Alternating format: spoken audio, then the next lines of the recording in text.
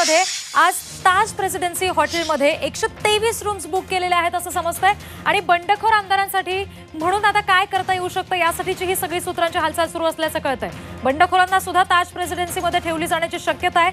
एकीकडे भाजप आता काल रात्रीपासून या सगळ्या चित्रामध्ये स्पष्टपणे एंट्री घेताना दिसतंय. आणि आत्ताच्या क्षणाची ही एक बातमी हाती येते ती म्हणजे बंडखोरांना सुद्धा ताजमध्येच ठेवलं जाणार आहे. सागल कुलकर्णी आपले प्रतिनिधी आपल्याशी जोडले गेलेत.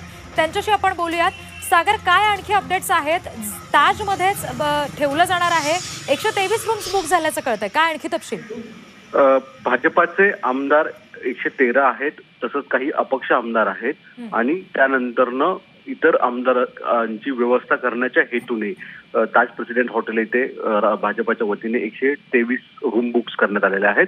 सगळ्यात महत्वाची गोष्ट म्हणजे दुसरीकडे एकनाथ शिंदे जो शिवसेना समर्थक गट आहे त्यांच्या सुद्धा संदर्भात काही अतिरिक्त रूम बुक केलेल्या आहेत. पण त्याची नोंद मात्र भाजपाने ऑन रेकॉर्ड केलेली गेली नाही या अशी शक्यता वर्तवली जात आहे की गोव्यातून कदाचित अचानक मध्यरात्री किंवा सकाळी लवकर या सर्व आमदारांना ताज प्रेसिडेंट येथे आणलं जाईल. आणि त्यानंतर ना हे सगळे आमदार म्हणजे भाजपाचे आमदार अधिक एकनाथ शिंदे शिवसेना समर्थक आमदारांचा गट असे सर्वजण एकत्रित विधान भवनमध्ये जातील एका बसमधून आणि त्यानंतरनं तिथे विश्वासदर्शक ठरावाला सामोरं जातील.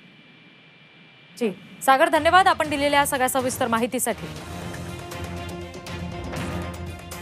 पण पाहतोय मुंबईमध्ये अत्यंत महत्वाची ही एक घडामोड घडताना दिसते ती म्हणजे ताज प्रेसिडेन्सीमध्ये आता बंडखोरांना ठेवलं जाऊ शकतं. त्यासाठी म्हणून ही सगळी सूत्र हालताना दिसत आहेत एकशे तेवीस रूम्स मुंबईमध्ये ताज प्रेसिडेंट्सच्या बुक करण्यात आलेल्या आहेत. ही माहिती सूत्रांनी दिली आहे. उद्याची फ्लोर टेस्ट अत्यंत महत्वाची आहे. अग्निपरीक्षा आहे ठाकरे सरकारसाठी. आणि आता त्याच दरम्यान मुंबईमध्ये ही घडामोड घडतीये. मोठी बातमी ताज प्रेसिडेंटच्या एकशे तेवीस रूम्स बुक झाल्यात. आणि जे बंडखोर आमदार आहेत जे सध्या आता गोव्याला नेले जात आहेत उद्या सकाळी कदाचित मुंबईमध्ये आणलं जाईल आणि तेव्हा त्यांना इथे ठेवलं जाऊ शकतं असं म्हटलं जात आहे